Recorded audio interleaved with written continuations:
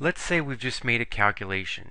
8.23 times 9.56. And let's say it's a value we'd rather not type again, but we have to use again.